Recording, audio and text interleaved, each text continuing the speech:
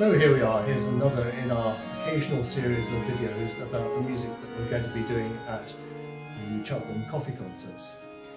I wanted to tell you about a piece that we're going to be doing on November the 4th. It's the first modern performance of William Hayes's oratorio The Fall of Jericho. It lasts about 50 minutes, but it hasn't been performed since its Oxford first performance in the mid 18th century. So this video will tell you a little bit about William Hayes's background and a bit about his music. William Hayes was born in Gloucester in 1708 and spent his formative years in the cathedral choir under the then organist William Hine. Hine's most enduring achievement was helping to establish the annual meetings of the combined cathedral choirs of Gloucester, Worcester, and Hereford. As a young boy, Hayes would have been involved in the first meetings of the Three Choirs Festival, which continues to this day. So here we are in the cloisters of Gloucester Cathedral.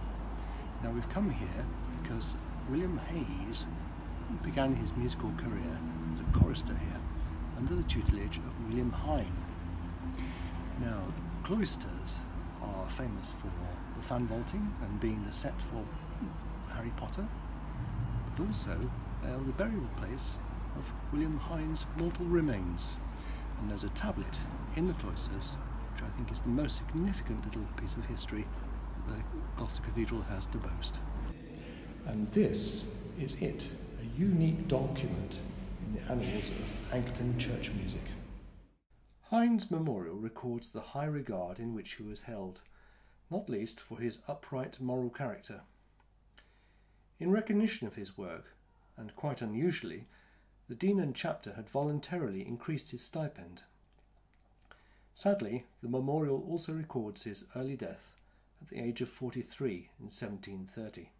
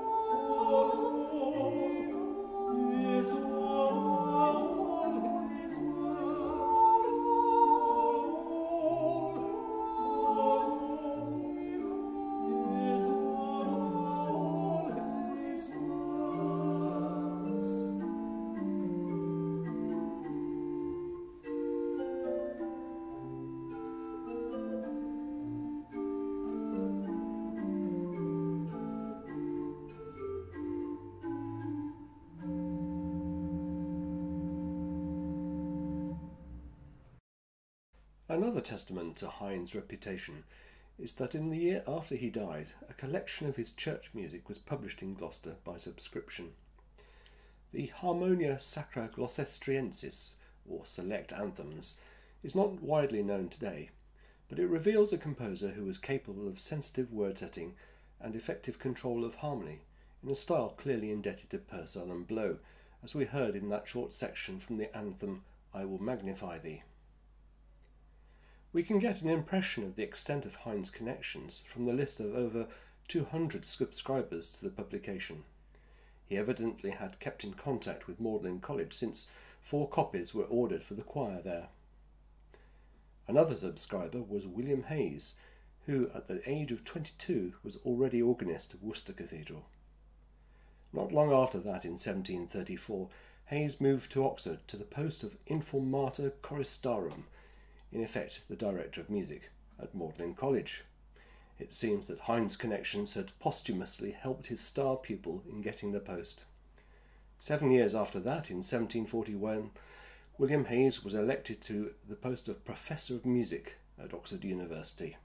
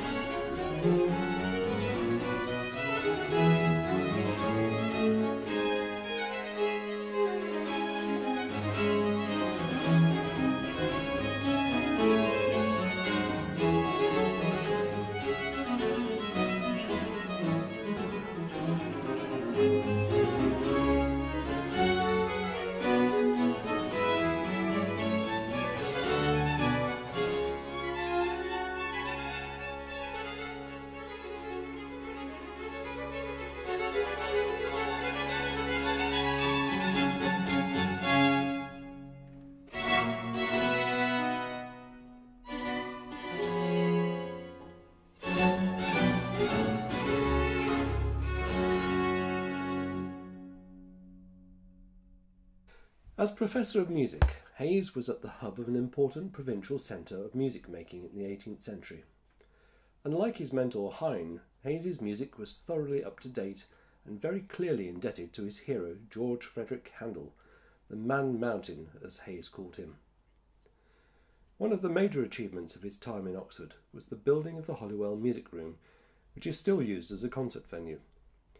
It was there that much of his music was performed, including concertos, trio sonatas, and numerous vocal works. He is also credited with having written the first English harpsichord concerto.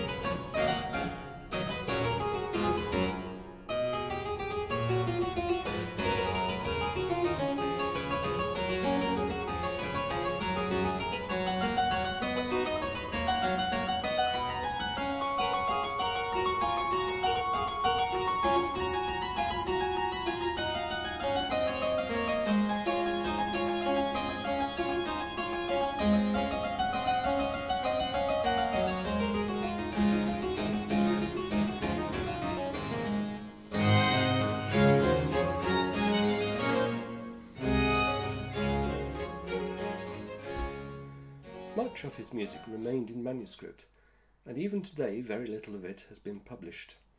Only a handful of recordings have been made of his music. The Corelli Orchestra and I recorded a CD a few years ago of Hayes's music for the Holywell Music Room, including the harpsichord concerto and two cantatas. On November the 4th, as part of Cheltenham Coffee Concerts, we are performing Hayes's oratorio The Fall of Jericho. This will be its first complete performance since the 18th century.